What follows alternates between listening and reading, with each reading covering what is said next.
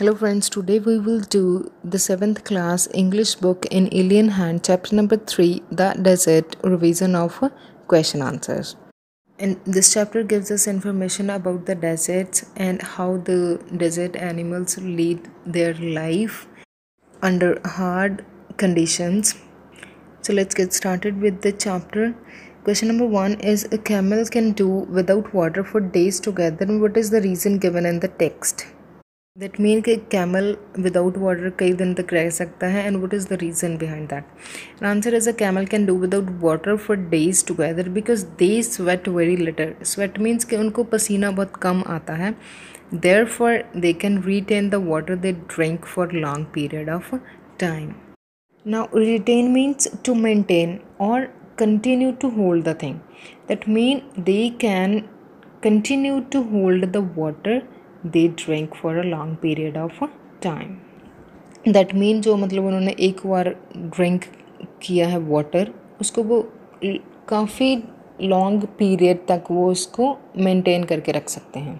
Question number two is how do the smaller desert animals fulfil their need of water मतलब वहाँ पे जो desert में और एनिमल्स हैं, वो कैसे अपनी वाटर की नीड को फुलफ़िल करते हैं? मतलब कहाँ से वो वाटर लेते हैं? An answer is the smaller animals spend day in the underground burrows means वो पूरा दिन नीचे ज़मीन के अंदर रहते हैं and come out at night to eat और रात को बाहर आते हैं जब थोड़ा सा एटमोसफेयर मतलब थोड़ा ठंडा हो जाता है.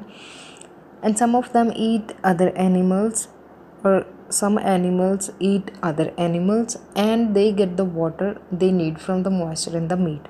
और वो जो मीट खाते हैं उनका, और मीट में जो मॉइस्चर होता है मतलब जो नमी होती है, उस नमी से ही वो मतलब अपने वाटर की रिक्वायरमेंट को कंप्लीट करते हैं।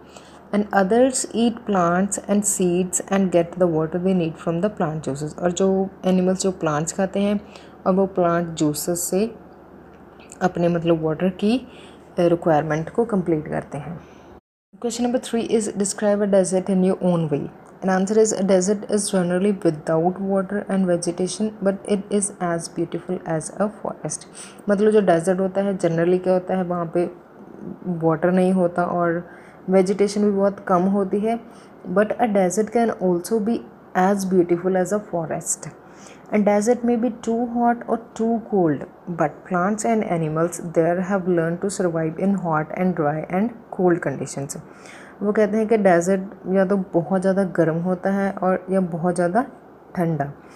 और जो वहाँ पे प्लांट्स हैं, जो एनिमल्स हैं मतलब जो वहाँ पे ग्रो करते हैं या एनिमल्स वहाँ पे रहते हैं, उन्होंने मतलब उस कंडीशंस में कैसे खुद को सरवाइव करना है, वो उन्होंने सीख लिया है। मतलब वो वो यूज़ टू हो चुके होते हैं। Deserts also have a different kind of vegetation and deserts also have some kind of plants which use to grow in the deserts. Now, next is long question. And in a desert, the temperature rises during the day. जो मतलब एक desert में जो temperature होता है, वो दिन में बहुत ज़्यादा होता है and falls rapidly at night और रात में बहुत ज़्यादा कम पड़ जाता है. Why An answer is in a desert, temperature rises during the day and falls rapidly at night because of the absence of moisture in desert land. अब इसका मतलब है कि जैसे हमारे एरिया में हवा चलती है तो उस हवा में नमी होती है ओके और डेजर्ट में वो मॉइस्चर नहीं होता मतलब हवा में नमी नहीं होती। And the moisture present in the air act as a blanket and protect the earth surface from the hot rays of the sun और जो हवा में नमी होती है, जो मॉइस्चर होता है, वो एक ब्लैंकेट की तरह काम करता है और अर्थ को सन रेज से वो प्रोटेक्ट करता है। बट डेजर्ट में हवा में कोई मॉइस्चर नहीं होता तो मतलब वहाँ पे कोई ऐसा ब्लैंकेट भी नहीं बनेगा जो मतलब डेजर्ट एरिया को प्रोटेक्ट करेगा।